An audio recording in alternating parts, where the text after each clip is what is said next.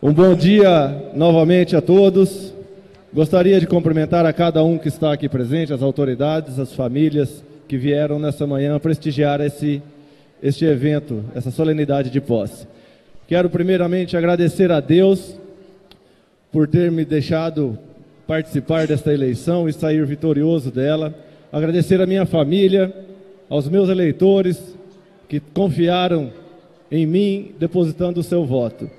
Foram 1.089 votos obtidos nas últimas eleições, que quero honrá-lo durante os quatro anos de vereador junto a esta Câmara.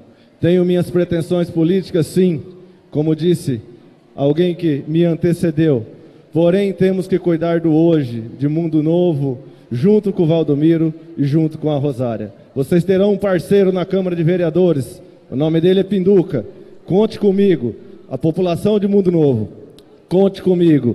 Quero dizer que o Valdomiro me convidou para fazer parte da administração. Nesse primeiro momento, entendo que não é o que eu pleiteei para o meu, meu cargo público. Serei vereador da nossa cidade, estarei à disposição do Valdomiro para poder ajudá-lo e aquilo que eu puder ajudar.